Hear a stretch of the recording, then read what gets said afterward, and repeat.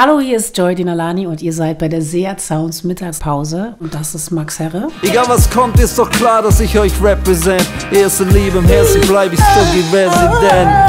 Schön, dass du wieder da bist. Ey, ey, ey. Wir haben uns lang nicht mehr gesehen. Zu lang, Joyce, zu lang.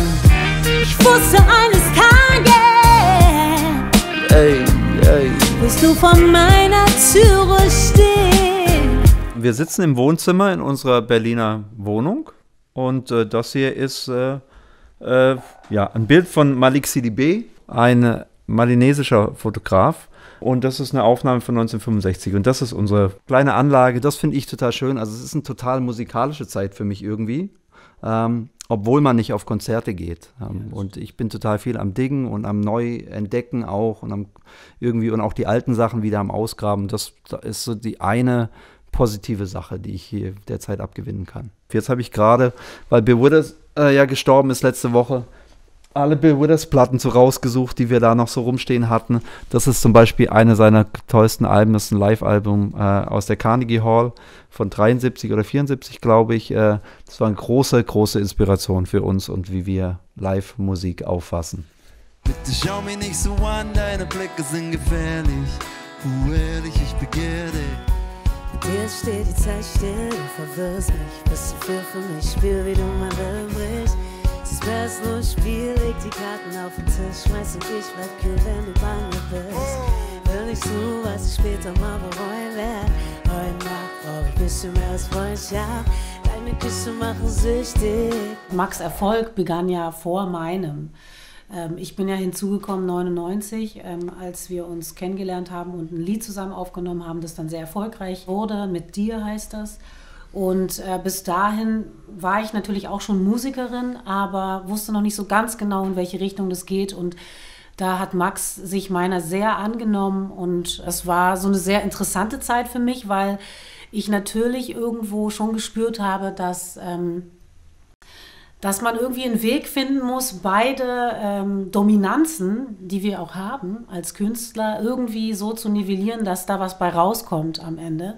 Das haben wir so ganz gut hinbekommen, glaube ich. Zumindest im Output haben wir es super hingekommen. Die ersten zehn Jahre unserer, äh, unseres Zusammenseins war das ein sehr intensives auch Zusammenarbeiten. Und es war so, dass die eigentlich die ersten vier Platten, die Joy machte, ich auch immer mit dabei war von Anfang bis Ende und das produziert habe und zum Teil mitgeschrieben und habe und mitkomponiert habe. Und äh, das war so eben auch eine sehr intensive Zeit. Und jetzt gibt es eine neue Phase, eigentlich, in der wir das auch so ein bisschen trennen voneinander. Joy hat jetzt gerade eine Platte ähm, gemacht, über die ihr gleich reden werdet, sicher, über die sie viel sagen kann, äh, wo das eben so zwei komplett getrennte Kreisläufe waren. Was auch total schön war, weil es dann wirklich nur noch ein, ähm, eigentlich so, ein, so, ein, so eine Abfrage ist zwischendurch.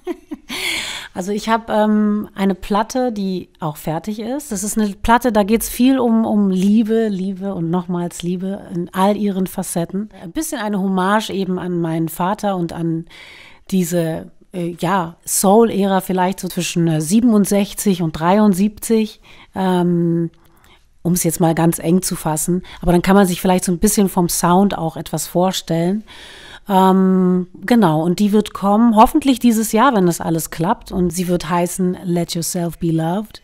Es ist eine Soul-Platte. Hat vielleicht damit zu tun, dass ich mich in den letzten Jahren viel mit meinem Vater befasst habe, wieder, weil er etwas älter geworden ist und wir einfach eine neue Ebene jetzt entwickelt haben miteinander, denn jetzt sind wir die Kinder diejenigen, die die Verantwortung für ihn übernehmen.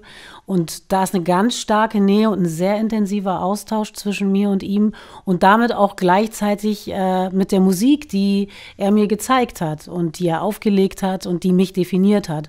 Und da war es für mich relativ naheliegend, auch wieder in diese, ich sag mal, Soul im klassischen Sinne ähm, Musik zurückzugehen und, und mich da zu probieren. Und da ging es wirklich nur um Musik machen. Das war fast wie Spielen. Und das habe ich sehr vermisst. Es ist ja auch eine, eine Dringlichkeit, ähm, das Singen bei mir. Das ist ja nicht etwas, das ich mir so überlegt habe, strategisch, äh, wo will ich hin in meinem Leben und was könnte passen, sondern es ist ja etwas wie eine, wie sagt man im Englischen, eine, ein Calling und im Deutschen würde man sagen, eine Berufung. Und ähm, das, äh, das ist so stark dann, so eine Berufung, dass sie auch Vergleichen und Ängsten standhält. Deswegen mache ich mich davon so total frei. Ich habe diesen Anspruch nicht, Aretha Franklin ihren Rang abzulaufen. Das könnte ich im Leben nicht. Wollte ich auch nicht. Ähm, aber äh, das heißt ja nicht, dass man nicht für sich sozusagen eine Ausdrucksform findet, die, die äh, sozusagen so nah wie möglich an so eine Authentizität heranreicht. If you know the song, sing along, come on. We don't come to a point where it can't be denied what we're still in this for. I didn't mind the sacrifice to keep our love alive.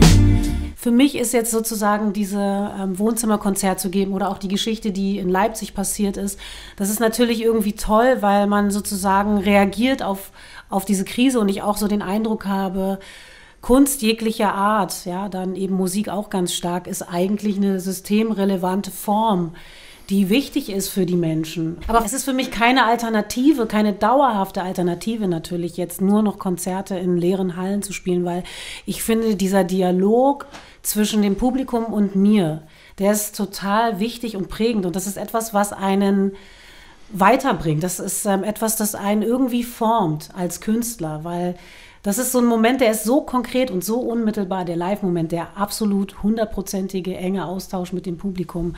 Wenn ich den nicht hätte, ich glaube, ich würde sofort viel, viel schlechter werden. Ich fand heute nicht.